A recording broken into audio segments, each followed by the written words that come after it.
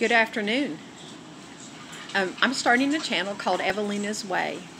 Evalena was my great grandmother, and she and her husband owned a dairy farm in the Ozark Mountains of Arkansas. She was born in 1899 and is someone who I would love to be like. We, um, we have limited space here, we have about a quarter of an acre, and so we've started with what we have and um, I'm going to take you out so you can meet the chickens and take a look at my little small garden that I'm just starting and um, introduce our subject matter.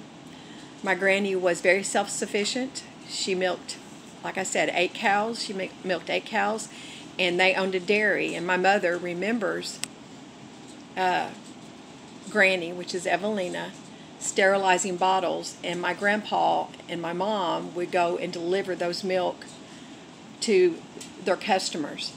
And mom remembers picking up the bottles, the empty bottles, and then delivering the fresh milk. And Granny had a garden, they had five acres, and they never wanted for food, and they never were in food distress. And that's where I want, that's what I want to be like. I'll take you out to meet the girls.